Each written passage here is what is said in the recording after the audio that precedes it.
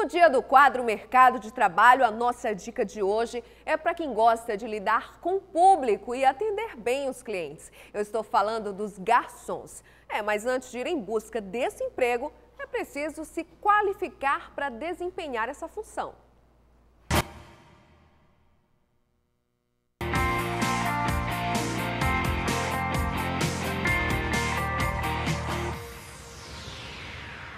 Um levantamento feito pela ONU indica que até 2025 a população de São Luís deve crescer até 30%, chegando a 1 milhão e 300 mil habitantes.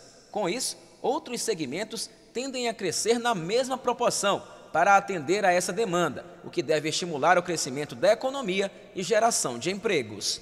Nesse sentido, o setor de bares e restaurantes tem se esforçado para acompanhar o crescimento. Segundo a Junta Comercial, no ano de 2012 foram 594 novos estabelecimentos. No ano passado foram 630 e somente nos três primeiros meses deste ano foram 124 novos estabelecimentos. E para garantir o bom atendimento ao cliente, é importante se investir na qualificação de garçons. Aldo Martins é garçom há pelo menos quatro anos e atua como instrutor para a formação de novos profissionais. Além da intimidade com garfos, facas, taças e guardanapos, ele também conhece muito bem as qualidades que uma pessoa deve ter para ser um bom garçom.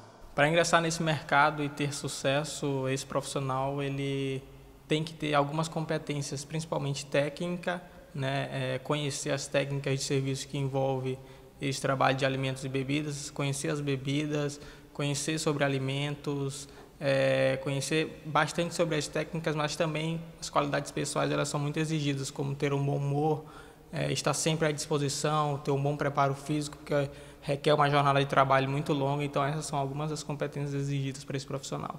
Essas potencialidades podem ser adquiridas por meio de um curso de garçons, oferecido pelo SENAC, onde são disponibilizadas 50 vagas gratuitas. Os interessados devem efetuar a inscrição pela página do PSG no site do SENAC. Cursidade de 8 horas diárias de preparação, em um primeiro momento uma parte teórica e na sequência uma parte prática para que ele vivencie é, a realidade desse, do mercado que é exigido por esse profissional.